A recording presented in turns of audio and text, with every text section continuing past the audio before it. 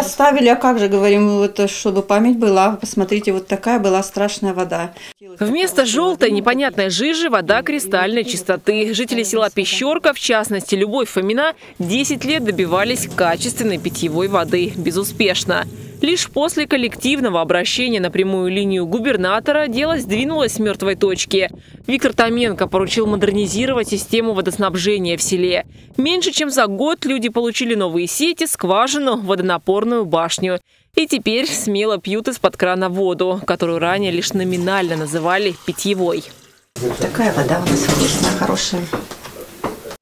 Работы по модернизации велись в течение всего весенне-летнего периода. И уже осенью люди, а их пещерки без малого тысячи человек, получили воду высокого качества. Мы не просто э, в пещерке проложили новый водопровод, но еще пробурили скважину и установили э, новую 160-кубовую башню. Все работы начали с февраля месяца. Э, подготовили проектно-сметную документацию еще в 2022 году.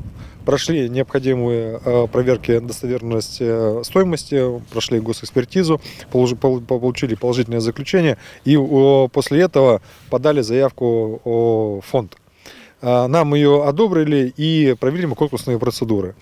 Больше 45 миллионов рублей ушло на реконструкцию системы водоснабжения в Пещерке. Региональные власти, к слову, в этом году привлекли дополнительные средства на строительство скважин и водонапорных башен в алтайских городах и селах. Для решения вопросов, связанных вообще с водоснабжением на территории края, а, мы в этом году дополнительно привлекли средства из резервного фонда Российской Федерации, порядка 200 миллионов, э, для реализации аналогичных объектов. Это устройство дополнительных скважин, башен. Общий объем ожидаемого финансирования из бюджетов разного уровня достигнет 400 миллионов рублей. Сумма позволит перевыполнить изначальный план и построить больше объектов коммунальной инфраструктуры. 74 скважины и 19 водонапорных башен. Валентина Аскерова. День с толком.